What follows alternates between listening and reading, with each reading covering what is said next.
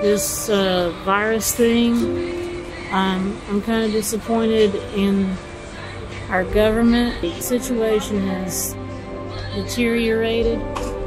Um, they shut down the parks. For us homeless veterans, we can't get water. We knew that vulnerable communities have far greater uh, implications and mortality and morbidity um, during during this crisis situation, which is what we've seen. Um, and so we were able to mobilize the resources that we normally use for, for hurricanes to respond to this crisis. We've been out for a month and a half. We've provided uh, over 600 tents, provided um, toiletries, thousands of masks. So far, we've we've tested about, uh, I guess, almost 100 individuals. Uh, maybe like five or six were positive. All I, all I want to do personally is, is, is if I can get housing and find anything else besides, I just want to get off the streets. So getting off the streets is, is important.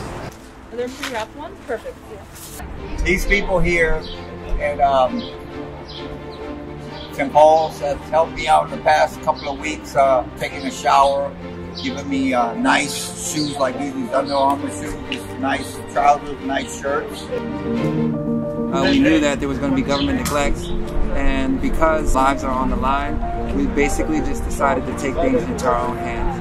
Uh, but these, you don't want to suck it up because we, we want to use these over again, right?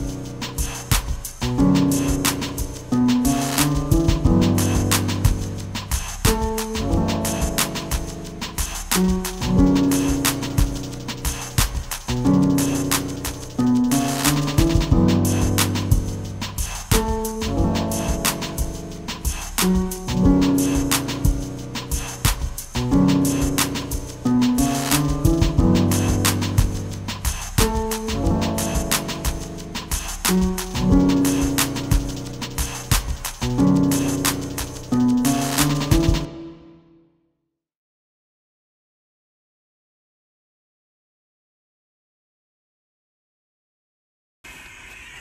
do know how it is.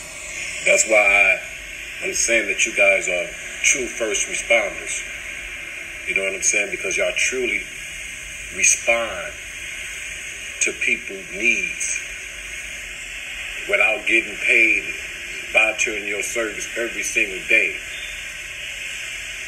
Your time, your effort. We need those type of things.